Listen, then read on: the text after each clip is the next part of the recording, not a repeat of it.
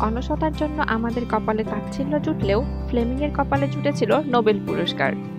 Mini স্টোরিজের আজকের গল্পে আমরা জানব সেই অলস বিজ্ঞানীর নোবেল পুরস্কার জয়ের গল্প। স্কটল্যান্ডের ডাক্তার আলেকজান্ডার ফ্লেমিং। উনিশশো আঠাশ সালে তিনি গবেষণা করছিলেন স্টেফাইলোকক্কাস নামের ভয়াবহ ব্যাকটেরিয়া নিয়ে। যাকে মারা ছিল বেশ কঠিন কাজ। কোনো ওষুধেই কাজ হতো না। বহু রোগীর মৃত্যু ঘটেছে এই স্টেফাইলোকক্কাসের আক্রমণে। ফ্লেমিং তার গবেষণাগারের একটি পেট্রি ডিশে এই ব্যাকটেরিয়া রেখেছিলেন। তার উপর বিভিন্ন জিনিস প্রয়োগ করে দেখা হচ্ছিল কি করে মারা যাবে এই ব্যাকটেরিয়াকে। কিন্তু কোনো কিছুতেই যেন কিছু হচ্ছিল না। এর মধ্যেই চলে এলো গ্রীষ্মকাল। আগস্টের শুরুতে ফ্লেমিং ছুটিতে যাচ্ছেন। যাওয়ার আগে ল্যাবে সবকিছু ধুয়ে মুছে পরিষ্কার করে যাওয়ার কথা। কিন্তু আলসেমি পেয়ে বসল তাকে। আর কোনো কিছু পরিষ্কার না করেই চলে গেলেন ছুটি কাটাতে।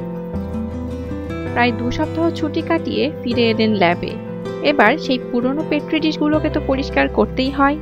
এর মাঝে সেখানে ব্যাকটেরিয়া আরাম করে বংশ বিস্তার করেছে। কাজেই পুরো ডিশ জুড়েই ব্যাকটেরিয়া গিজ গিজ করার কথা। কিন্তু সেগুলোকে বের করে মাইক্রোস্কোপের তলায় রেখে চমকে গেলেন ফ্লেমিং। কেন?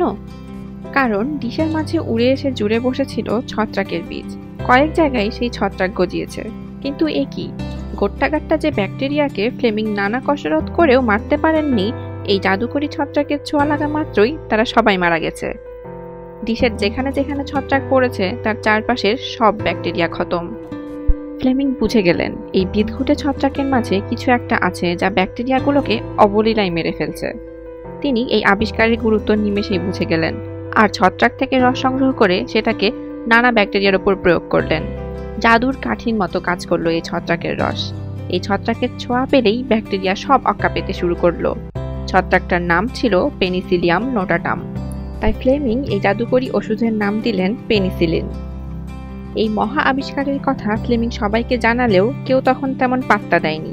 হাজার হলেও উড়ে এসে জুড়ে বসা ছত্রাকের এত অসাধারণ গুণের কথা কেউ কেনই বা মানতে চাইবে?